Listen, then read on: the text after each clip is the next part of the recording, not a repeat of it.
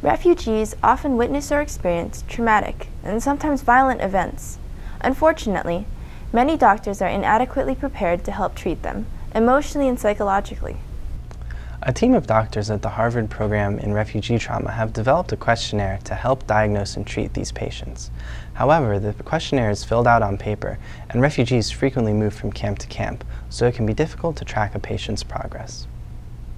Our solution is to give these patients a radio frequency identification, also known as RFID card, which will securely store their questionnaires. We created a smartphone RFID reader and writer, which will allow doctors to read information from the card and write information onto the card.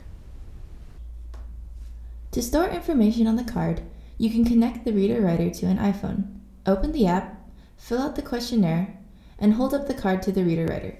Press write, and the questionnaire responses will be stored on the card.